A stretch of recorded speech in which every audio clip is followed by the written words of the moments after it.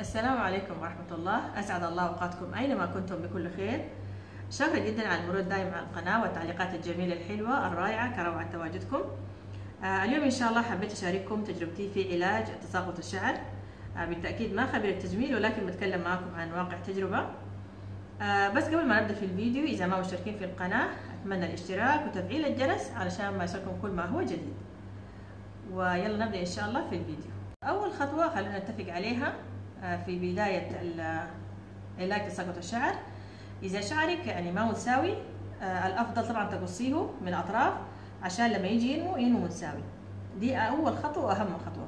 الخطوة الثانية اللي أنا كان استخدمتها أو عملتها اللي هو مزيت ثلاثة زيوت مع بعض اللي هو زيت الخروع طبعا معروف يعني بتغذية الشعر وتكثيفه والتطويل.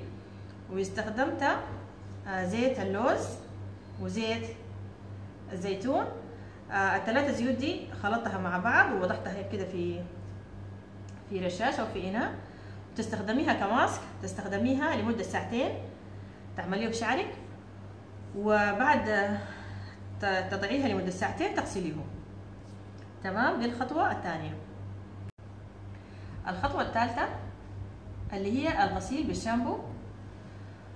طبعا تشوفي الشامبو المناسب معاكي. أنا صراحة استخدمت الشامبو فاتيكا اللي هو أصلا هو مخصص للحماية من تساقط الشعر. بيغوي الشعر ويقويه ويغذيه. تمام؟ وتستخدم استخدمت معه برضو البلسم برضو الاثنين دول جميلات جدا لغسيل الشعر. طبعا الشامبو كيف بتعرفي إنه الشامبو ده بينفع معاكي أو لا؟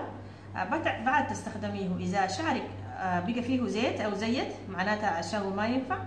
تبدليه لشامبو تاني لكن صراحة بنصحكم بالشامبو فاتيكا. صراحة شامبو جميل جدا. آه عندك هنا شامبو Head & Shoulders Head & Shoulders آه معروف. غني عن التعريف. إذا عندك قشرة بتستخدميه طبعا مرتين في الأسبوع. وإذا ما عندك قشرة بتستخدميه مرتين في الشهر.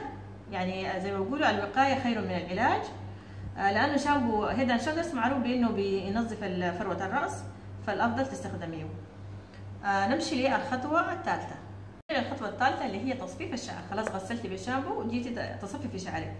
الأفضل ما دام الشعر بيكون لين تستخدمي الأسنان أسنان المشط العريض أو الكبيرة لأنه الصغيرة ما دام الشعر لين بتساعد كمان في تساقط الشعر.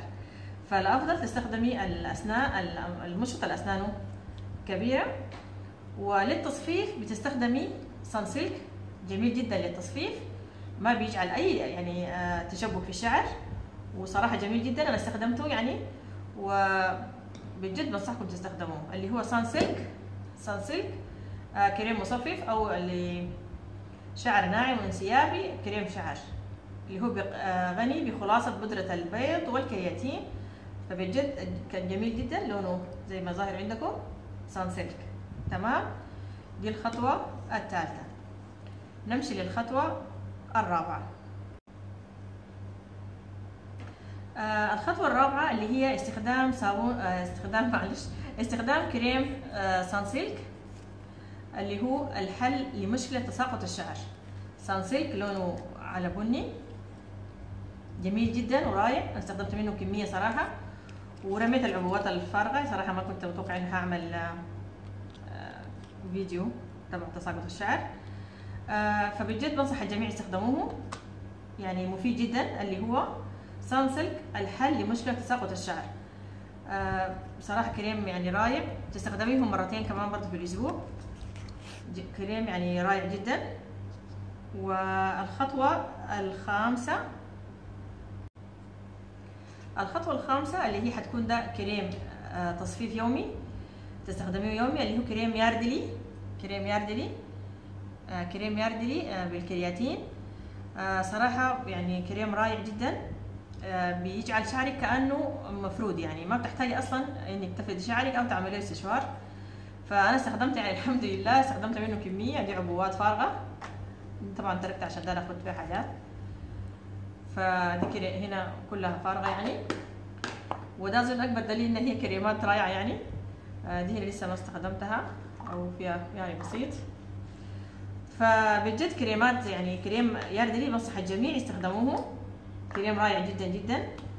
أتمنى أكون يعني أفدتكم ولو بالقليل. شاكرة مرة ثانية على المرور دائم على القناة والتعليقات الجميلة. أشوفكم في فيديو تاني والسلام عليكم ورحمة الله.